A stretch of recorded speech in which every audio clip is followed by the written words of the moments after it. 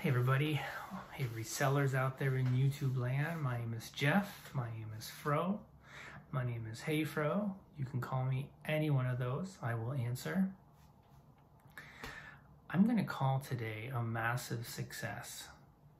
Now let me define what a success is.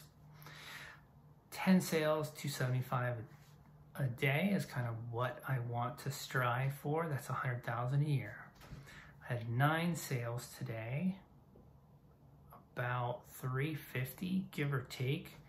Um, summer slowdown, you know, to get that number uh, on in, in June, uh, I'm going to say that's a massive win. Uh, I'm also, I want to talk about why you should be listening to this channel. Uh, I've been doing this for almost 12 years now, almost nine years full time, and you're going to learn something. Uh, it's not maybe, you know, my videos are not edited, they're not, you know, maybe as entertaining as other YouTubers, but you're going to learn something.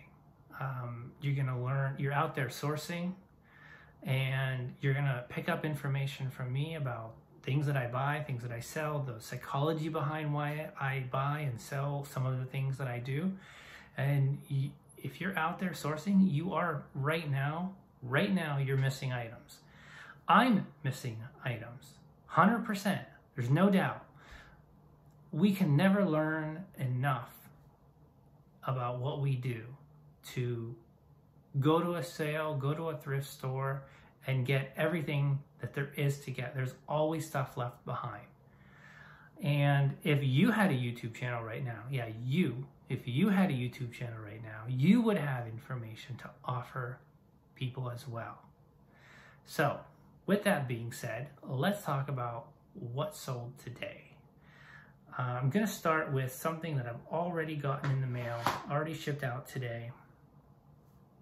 So I'm just going to show you uh, this was an interesting item because I got full price on it. It was one of those books, Franz Bardon, The Key to the True Kabbalah, sold for 125 actually 126 um, and what's interesting about this is I had sent a number of offers and I had sent and, and I had offers on this and I had sent some counters as well for lower than that and somebody just came along in the middle of the night, decided they had to have this book. And then after I pulled it, looked at the listing, I realized I even had it spelled wrong. I mean, this is like a rookie mistake. I had the key to the true Kabbalah. Who knows? It could have sold weeks ago or a month ago or maybe even, I mean, I wouldn't have listed for any higher. But anyhow, awesome sale got that from the esoteric book lot that I the estate sale from like four weeks that four weeks ago now where I highlighted everything that I got from there. Still still have so many books I haven't even gotten listed on on there. Okay. Um a couple Teenage Mutant Ninja Turtle books sold to Canada. Um, 30 bucks. Uh, this the guy made an offer for 25 or 24. I think they were listed for 34, so I'm like, I countered, yes, I know. Right now, that is like the word we should not say, counter. I countered. Ooh. And he didn't respond right away, but I knew, I knew that he would not find a better deal. Uh, because these books are extremely high grade. I graded them a 96.8, which is which is within a window, which is extremely high, and I'm pretty quite quite confident in my grading. Another book that sold, Going to Chile, from that esoteric book lot, Osiris, the Egyptian religion of resurrection. This and, oh man, where is it? Okay, whew. It's a cool old photograph of Cairo in 1974 that whoever well, the people that owned these books before must have went to Cairo, which is pretty cool, I think. So those that sold for thirty-two dollars. All right. I had a couple offline sales today. Um, the first one was a, and, and I spoke about this. I thought this had sold maybe about a week ago, but the guy ended up uh, basically ghosting me. So the the Cirque du Soleil umbrella sold today for full price of 25 locally, um, which I didn't pay anything for. As I said, I uh, was helping somebody move. They had some stuff that they, they were going to donate. Uh, I offered to take it to donation, and you know, I'm gonna take it. I'm gonna at least look through the stuff that I'm donating and see if there's anything I, I think is worth selling. And I this umbrella was pretty cool. Um, and I also sold an Inspector Gadget. Uh, it was probably like that big statue, not statue, toy. Honestly, have no idea where I got that. Must have been in a lot that I picked up somewhere. I sold that for fifteen dollars. It was, you know, um, the guy who bought it.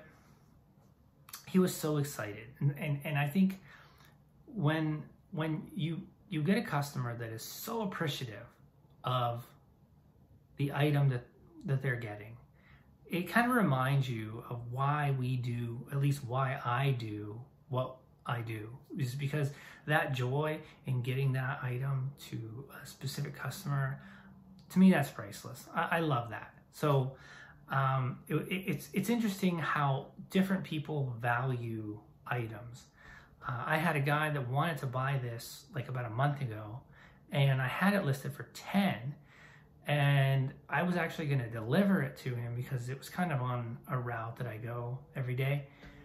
And he, you know, he hemmed and hawed, and then he was like agreed to it. And then like the day that I was going to bring it, he was like, you know what? He's like, can you do five? And I'm just like, you know, if I'm bringing you something, normally I'm actually going to charge a fee. I'm like, no. And then he just didn't hear from him.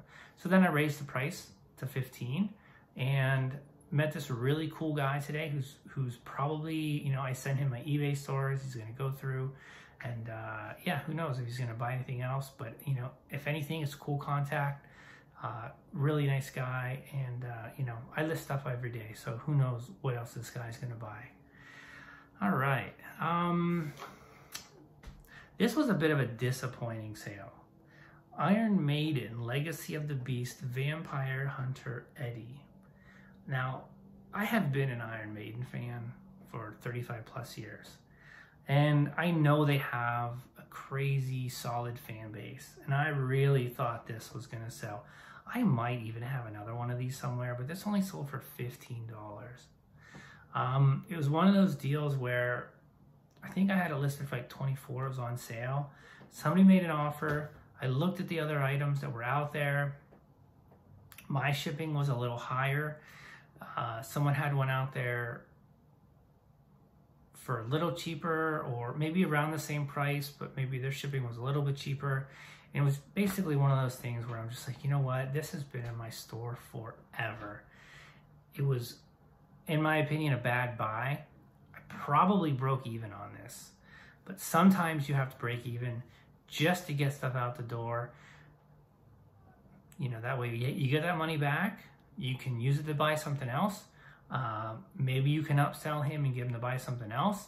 Uh, maybe he gets it and he's really happy and then he comes back and he buys something else.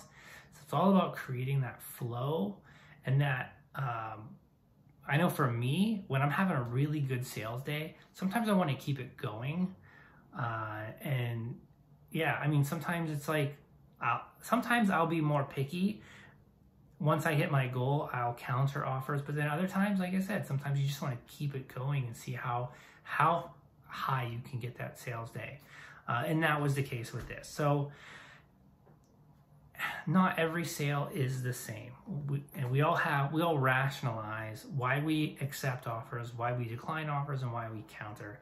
But you should never decline you should always counter for at least like if somebody lowballs you and it's like in, in a disgusting lowball, I always just counter at the price that it's at because that activity of counter, offer, counter, that helps the algorithm. Um, sold this Yves Saint Laurent perfume for 62, brand new, sealed. Um, yeah, nothing really much to say about that. And um, yeah, at, I think the last sale, uh, unless I'm missing, oh yeah, I am, I am missing something. Um, this sold overnight. Uh, this is already shipped today. Um, it's basically just a comic. It's signed. It's a pretty cool doll face comic by Colette Turner. Uh, this sold for about $23. Uh, really nothing to say. Just a just a solid, beautiful cover. Yeah. So Colette Turner does really nice covers, and she's really super cool. I met her at a at a fan expo here a couple years ago, pre-COVID, uh, and then I believe this is the last sale of the day. Um, an Emily Strange zippered pouch. Strange is not a crime. This sold for 22. So let me just make sure I'm not missing anything. But yeah, I mean, an extremely solid day. Like two days ago, sale I, sale, I crushed my sales uh, goal. Then yesterday it was a little iffy. Today, you know, we got an international order. We got nine sales, uh, five on, I think five on, on the one eBay store, two on the other, and then two offline sales So yeah, that's pretty much it. Just wanted to kind of make this video, get these, uh, I want to start packaging these tonight. So yeah, we'll see you soon. Bye.